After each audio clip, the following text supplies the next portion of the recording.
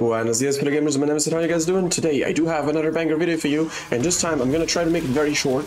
Um, I'm gonna explain to you how this event works, okay? So basically, um, well, you're in an area, and you have to power an elevator. I mean, first you have to do the quest, okay? I'm not gonna spoil about the quest. Let me just say the quest is super duper awesome, okay? Super duper awesome.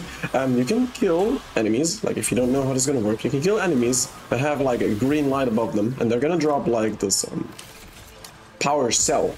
Um, each power cell provides like 20. As you can see, I'm gonna wait here to 29. Okay, throw one, and boom, you're in 48. So um, yeah, every time you throw a power cell, it's like 20 um, energy that you provide to this thing. Um, once you provide that thing, or like bring that thing up to the, well, to the upper floor, there's also like uh, alerts that you can do to um, get a certain uh, resource. I don't remember the name because, uh, well, I think this is the second mission I'm doing. But um, you can get some ephemeras from what I've seen, so that's super, super cool. So make sure you play this event, okay? Also, um, make sure you support your clan. Uh, we're still recruiting. We also have a new clan emblem. If you're interested in that, you can see it on my chest. If I do have more information on how to farm the actual Warframe, I'm gonna keep you guys up to date, okay? But for now, just gonna tell how the event works. You can support your clan. Uh, you bring up this thingy right there, and then you pretty much chill because the mission should be over any second.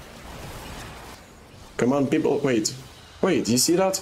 Waiting for players, one, one out of five.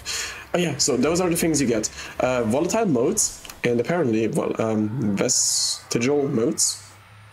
So I think those volatile uh, motes are for the clan and for the progress. And well, you can have a bronze trophy, a trophy, um, well, I guess a silver one and a gold one. So um, this is how the event looks like. Operation Belly of the Beast, it's gonna head to Uranus, you can do the mission, and you can do what I just explained. Good luck, have fun, Tenno.